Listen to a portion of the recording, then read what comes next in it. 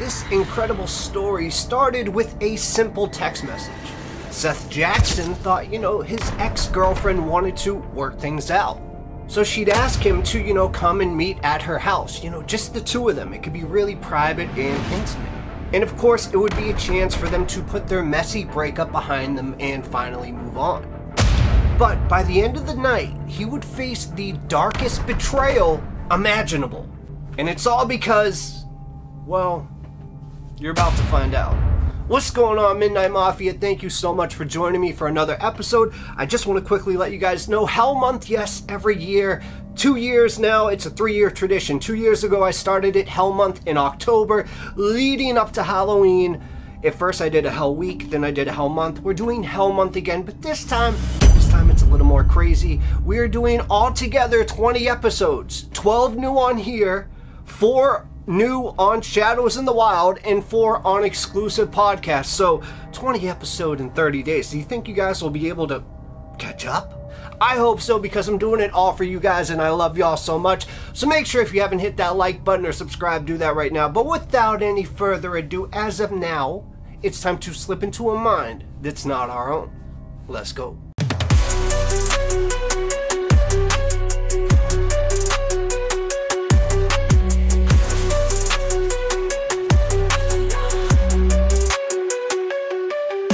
So Seath Jackson in this quiet community of Summerfield, which is in Marion County. He was known for his contagious smile and his outgoing personality, and he just loved to always have fun with his brothers. And Seath was like any other kind of 15 year old boy. You know, he spent his days just hanging out with his brothers and his friends, dreaming actually of becoming a UFC fighter. And of course, he also spent most of that time flirting with his lovely crush at that time, who was Amber Wright. But as it often happens with teenagers, you know, relationships at that stage of your life become kind of messy. And what started as a whirlwind of romance between Seath and Amber quickly soured out. And it led to nothing but, you know, jealousy, accusations, and eventually heartbreak. And that is when their relationship took a very dark turn in March 2011. After Seath discovered that Amber had been seeing another boy on the side, an 18 year old named Michael Bargo. Now, no one at that time could have predicted that this high school love triangle would end up being the backdrop for the most craziest thing this town might have ever gone through. And it sent shockwaves through Bellevue. I mean, I'm sure we've all heard many times about these teen dramas that might escalate into a deadly plot, but have you really ever heard one like this? Well, I guess you're about to find out. Okay, so the breakup between Seath and Amber, it wasn't just messy, it was completely toxic. Of course, fueled by jealousy and anger, they started, you know, taking jabs at each other publicly, of course, online, now that we have Facebook and other stuff like that. And this is where they used as a battleground Facebook. And the heated exchanges between Seath and Amber, you know, caught the attention of Michael Bargo, who was already, you know, nurturing this intense hatred for Seath. In fact, Bargo actually believed for some reason that Seath had abused Amber, and he became fixated on the idea that Seath had to be eliminated. But of course, Bargo wasn't just content harboring these feelings quietly. No, no, no. Instead, he began, you know, recruiting others to help him execute this sinister plan. I mean, first he convinced Amber, of course, along with her brother Kyle Hooper, who was only 16 years old. And then this other 20 year old named Justin Soto, and a mutual friend of theirs named Charlie Eli, who was 18. And he recruited all of these people to join him in a scheme that would culminate in Seath's death. I mean, you can imagine as a 16, 17, or 18 year old in high school when somebody's like, oh, I hate him, I just want to kill him, and your friend's like, yeah, totally, you need help. but you never really think it's actually going to go that far, do you? Embargo was determined to set up a trap inside of a house, have Seath Jackson come inside that house, and make sure that Seath Jackson never left that house.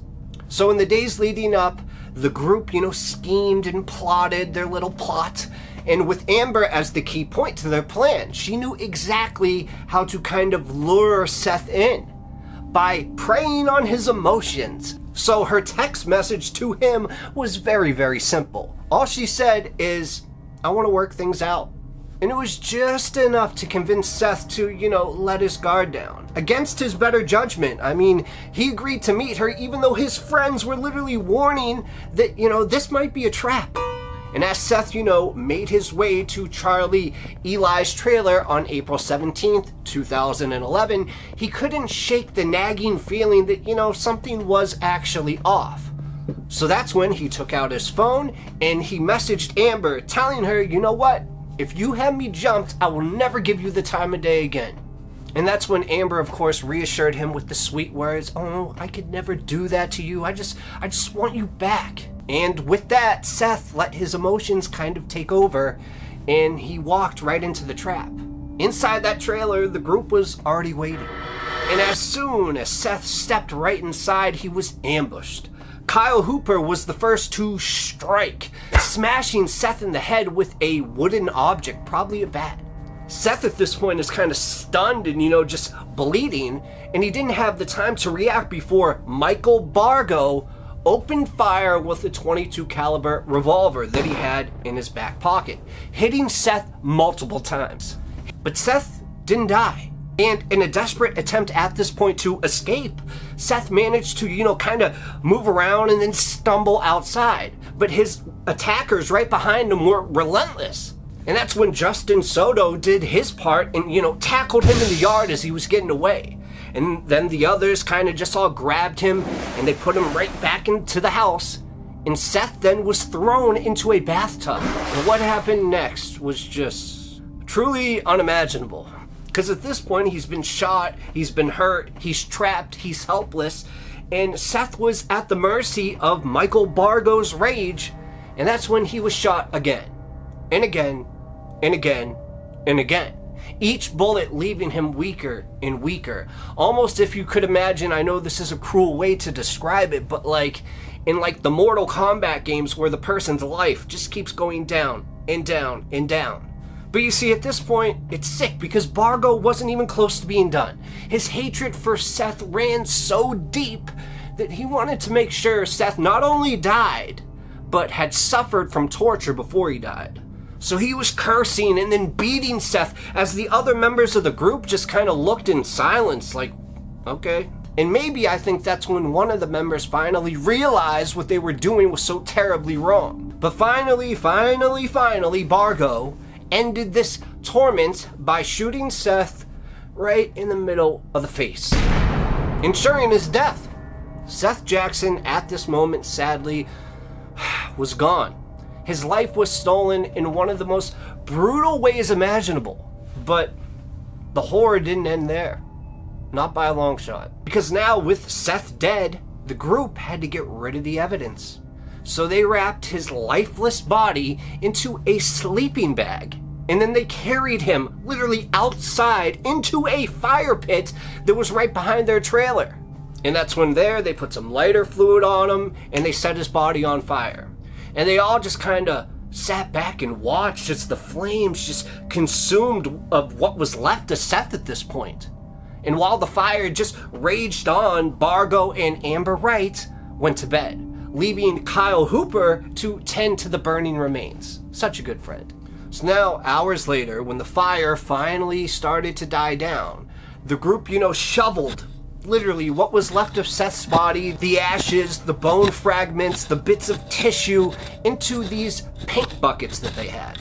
And then the next morning, the final part of the cover up was set into motion. Amber Wright's mother's ex boyfriend, 37 year old James Havens, arrived with cinder blocks and cables. And without hesitation at all, Havens now helped this group dispose of Seath's remains, dumping these buckets into a remote quarry outside Ocala, Florida. And they believed that by sinking, you know, the buckets to the bottom of the quarry, they could erase all evidence of their crime and make it as if Seath was never here at all, or for that point, even alive. But what they didn't expect is a couple things. For one, a lot of you better know this out there. The truth like light, always has a way of shining through, even just a little bit. And of course, what they didn't count on was that the truth would unravel quicker than any of them could have possibly imagined. Literally within hours of Seath's disappearance, Kyle Hooper, you know, just ended up cracking under this intense pressure. He couldn't live with himself. He just couldn't internally handle it. So he had to do something about it. So he went up to his mother and then he confessed all the details of this murder to his mother because he was just unable to live with the horror of what they had just done. So, of course, the mother, you know, hesitantly picks up the phone to call police, knowing that her son is probably going to be in a lot of trouble. And then, once the police were involved, it wasn't long before the entire group was arrested. And of course, each one of them tried to, you know, shift blame on the other one, claiming that, you know, they didn't really realize that Bargo intended to kill Seath, but it was too late. I mean, it was too late for all of that because the evidence that they had now was overwhelming. They had the remains found in the fire pit and quarry, the murder weapon recovered from Eli's trailer, and the confessions of their co conspirators all pointed to their involvement. In the end, you could say justice was served, though no sentence could ever bring Seath Jackson back to life. But Amber Wright, Kyle Hooper, Justin Soto, and Charlie Eli were all sentenced to life in prison. James Havens, the 37 year old who had helped them with the disposal of Seath's body, was sentenced to time in prison as an accessory after the fact. As for the prime antagonist of this story, Michael Bargo, the ringleader, you could call him, of this brutal murder, well, he was sentenced to death becoming Florida's youngest death row inmate ever. And of course, the crime, you know, shocked the nation.